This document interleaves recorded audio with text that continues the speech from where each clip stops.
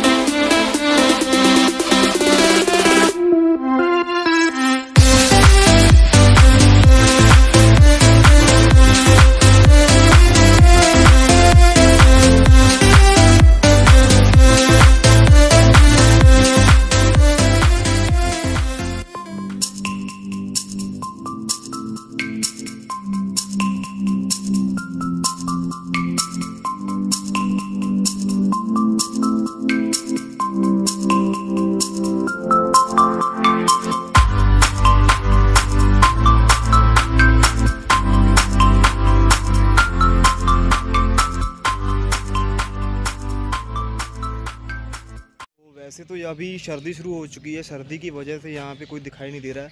लेकिन गर्मियों में अगर यहाँ पे आया जाए तो यहाँ पे ये जो जगह है, ये पूरी तरह से भरी रहती है। बहुत सारे लोग यहाँ पे आके बैठते हैं। और पीछे आप मेरे साथ देखोगे, ये जो नलका है, इसका यूज़ आज भी किया जाता है। ये आज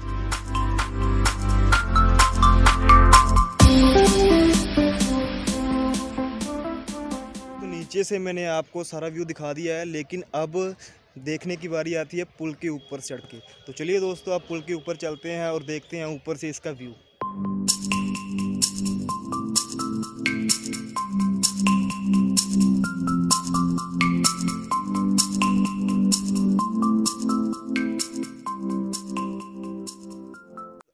हम आ चुके हैं पुल के ऊपर, ठीक है?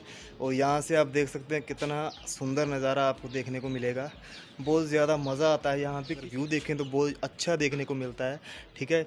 दूर दूर तक पेड़ पौधे आपको देखने को मिलेंगे और पूरी रेलवे ट्रैक आपको देखने को मिलेगा। मैं आपको प्रॉपर वे से पूरी कोशिश करूँगा भी आपको पूरा दिखा सकूँ और आप सब इसको इन्जॉय ज़रूर कीजिएगा।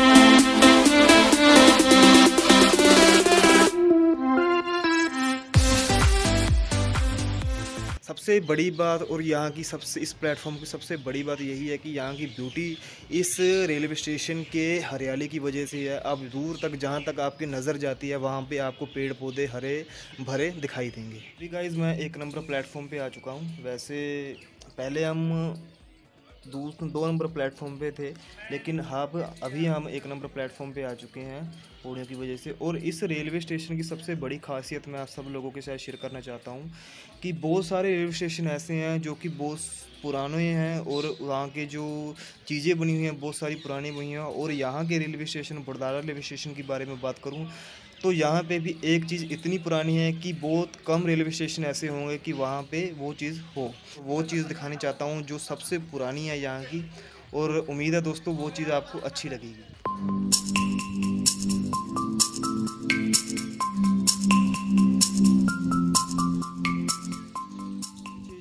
आप पानी की टंकी देख रहे हो, ये जो पानी की टंकी है, ये बहुत ही कम रेलवे स्टेशन ऐसे होंगे, जहाँ पे इतनी पुरानी टंकी आपको पानी की देखने को मिलेगी। लेकिन ये बुढ़ाड़ा रेलवे स्टेशन पे आपको ये टंकी अभी भी अवेलेबल मिलेगी।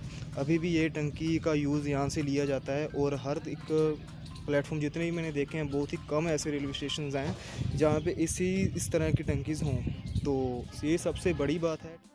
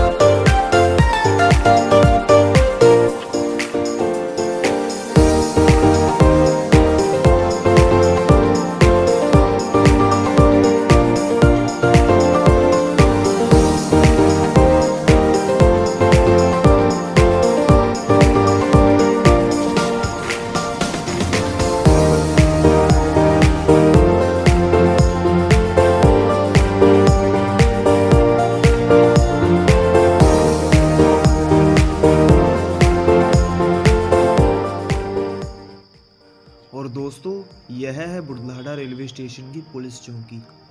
यहाँ पे 24 फोर आवर्स पुलिस तैनात रहती है।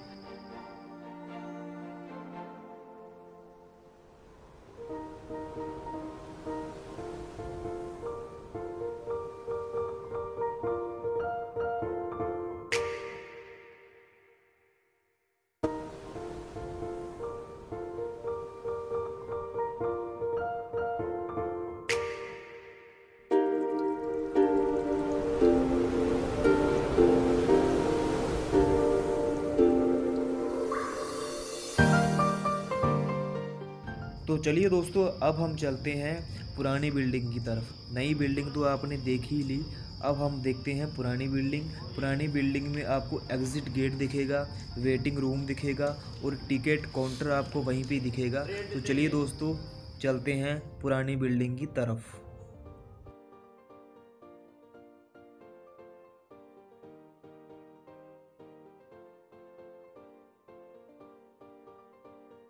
तो दोस्तों, अभी हम पहुँच चुके हैं बिल्कुल एग्ज़िट गेट के पास। ये जो आपको रेड लाइट दिख रही है, इस रेड लाइट को पार करते ही हमें सामने मार्केट दिखाई देगी और हम रेलवे स्टेशन से बाहर आ जाएँगे। और दोस्तों, यह है टिकट वेंडिंग मशीन और इसके साथ ही आप देख सकते हैं टिकट काउंटर भी अवेलेबल है। आपकी मर्ज़ी है, आप टिकट काउंटर से भी टिकट ले सकते हैं और टिकट वेंडिंग मशीन से भी टिकट ले सकते हैं। और इसके साथ ही वेटिंग रूम बना हुआ है। अगर बाई चांस आपकी ट्रेन लेट हो जाती है तो यहाँ पर बैठ के आप अपनी ट्रेन की वेट कर सकते हो। और एक बात मैं आपसे और क्लियर करना चाहता हूँ कि ये जो रेलवे स्टेशन है, यही इस रेलवे स्टेशन का मेन एंट्रेस है और यही इस रेलवे स्टेशन का मेन एग्ज़िट है। यहाँ से ही आप रेलवे स्टेशन में एंट्री ले सकते हो और यहाँ से ही आप इस रेलवे स्टेशन से बाहर निकल सकते हो। और दोस्तों, इस रेलवे स्टेशन पर आपको ऑटो रिक्शा की सुविधा भी मिल जाती है। अगर आपकी ट्रेन लेट है या फिर आप जाना ही बस स्टैंड जाते हैं तो यहाँ रेलवे स्टेशन पर उतर के आपको एग्ज़िट लेना है। उसके बाद आपको सामने ऑटो रिक्शा दिखाई देंगे। वहाँ से आप ऑटो लेकर सीधा डायरेक्ट अपने बस स्टैंड पर जा सकते हो। और दोस्तों, मैं आप सब लोगों से यह बताना चाहूँगा कि इस रेलवे स्टेशन से एग्ज़िट लेते ही आप मार्केट में आ जाओगे। मार्केट में आते ही आपको सबसे पहले मिठाई की दुकान मिलेगी और इस रेलवे स्टेशन के बिल्कुल सामने आपको वैरायटी स्टोर मिलेगा और पास में ही मोबाइल शॉप है जहाँ पे आप हर तरह की रिचार्ज मोबाइल रिपेयर, चार्जर, हर तरह की मोबाइल की एसेसरी वहाँ से ले सकते हो। और यहाँ से बाहर निकलते ही शौचालय बना हुआ है आइसक्रीम की दुकानें हैं और एटीएम भी आपको पास में ही मिल जाएँगे। तो बस दोस्तों, आज के लिए बस इतना ही। मैं मिलता हूँ आपको अगली वीडियो में एक नई अपडेट के साथ। तब तक के लिए जय हिंद दोस्तों। सर्दी आ गई है, अपना ध्यान रखिए और अपनी फैमिली का भी ध्यान रखिए।